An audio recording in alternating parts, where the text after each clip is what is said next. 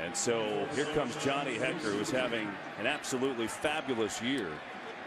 Bill Belichick talked about Johnny Hekker for 10 minutes to us the other day. Johnny loves this Rams punter. Another high, deep kick and out of bounds, so no return available. And so Johnny Hekker, two-time Pro Bowler. Look at these numbers for Hekker.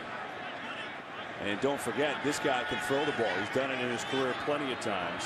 Six for 10 passing for 99 yards in his career and a touchdown. So that's something to be aware of. Trust me, the Patriots know it too. This time, just another great punt. And it's fumbled and picked up by New England. Boy, got lucky. By the mantra, ball security is job security.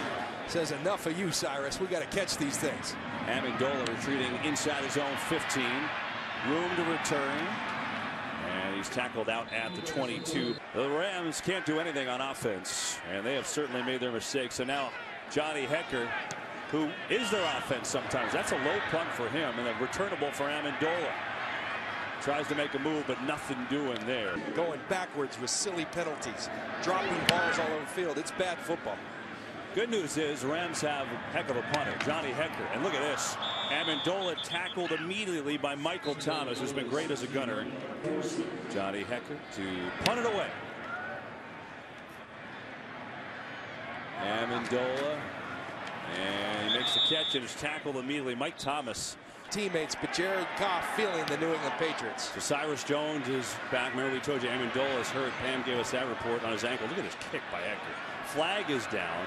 Here's Jones looking to make something happen. Dances out to the 20. That's coming up. That's also a huge game. Giants on fire.